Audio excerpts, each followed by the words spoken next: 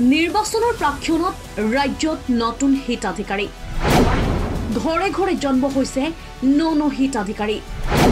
অৰুণোদয় আঁচনিত আকৌ নতুন হিতাধিকাৰী। নতুন হিতাধিকাৰীলৈ ৰেচন কাৰ্ড। হিতাধিকাৰীয়ে সহায় কৰিব পাৰিব নিৰ্বাচনত। কিন্তু হিতাধিকাৰীয়ে গঢ়িব পাৰিবনে আত্মনিৰ্ভৰশীল অসম? প্ৰতিশ্ৰুতি অনুসৰি ঘৰে ঘৰে শৌচাগাৰ নাথাকিব পাৰে।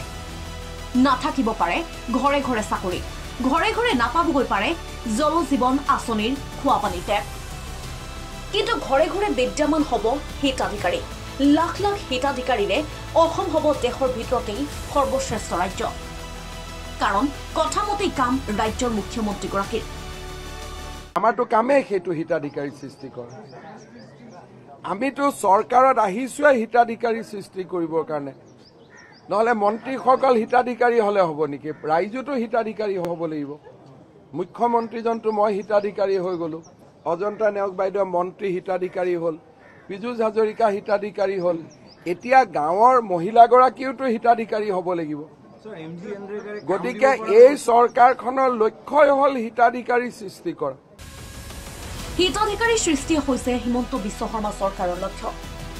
হিতাধিকাৰী সৃষ্টি কৰিবলৈ এই চৰকাৰ দৃঢ় প্ৰতিজ্ঞ তাৰে পৰিণতিত ৰাজ্যত নিত্য জন্ম হৈছে লাখ লাখ হিতাধিকাৰী।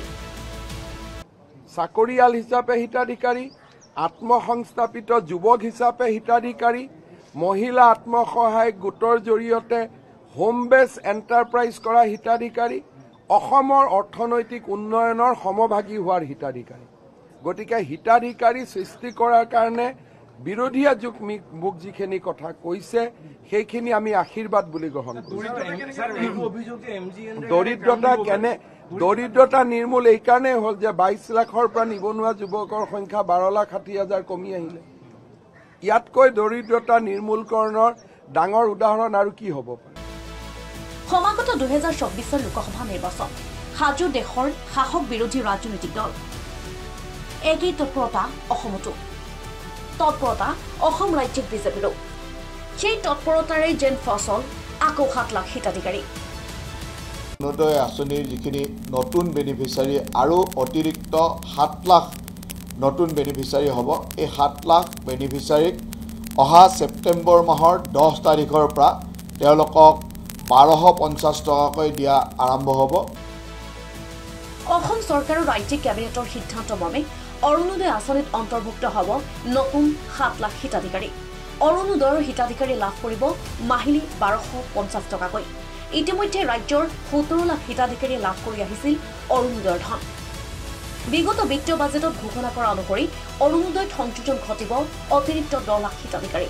বাজেটৰ ঘোষণা অনুসৰি ৰাজ্যত অৰুণোদয়ৰ হিতাধিকাৰী সাতাইছ লাখলৈ বৃদ্ধি হোৱাটো নিশ্চিত আছিল। তাৰ মাজতে ৰাজ্যিক কেবিনেটৰ সিদ্ধান্ত অনুসৰি অৰুণোদয়ত সংযোজন ঘটোৱা হ'ব নতুন সাত লাখ হিতাধিকাৰী। কেৱল সিমানেই নহয় অৰুণোদয় আঁচনিৰ উপৰিও বিত্তীয় বাজেটৰ ঘোষণা অনুসৰি বিভিন্ন আঁচনিৰ জৰিয়তে ৰাজ্যত অনাগত সময়ত সৃষ্টি হ'ব লাখে লাখে নতুন নতুন হিতাধিকাৰী। বাজেটত ঘোষণাৰ উপৰিও ৰাজ্যিক কেবিনেটৰো সিদ্ধান্ত চল্লিছ লাখ নতুন হিতাধিকাৰীয়ে লাভ কৰিব ৰেচন কাৰ্ড। ৰাষ্ট্ৰীয় খাদ্য সুৰক্ষা আইনৰ অধীনত ৰাজ্যত আছে পঁচপন্ন লাখ হিতাধিকাৰী অন্যহাতে অসম চৰকাৰৰ কেবিনেট সিদ্ধান্ত মৰ্মে এই আইনৰ অধীনত অতিৰিক্ত চল্লিছ লাখ লোকক বাছনি কৰি উলিওৱা হৈছে। এই অতিৰিক্ত চল্লিছ লাখ হিতাধিকাৰীয়েও এতিয়াৰে পৰা নতুনকৈ লাভ কৰিব ৰেচন কাৰ্ড। একে সময়তে দুই লাখ যুৱক যুৱতীলৈ লাখ টকাৰ অনুদান।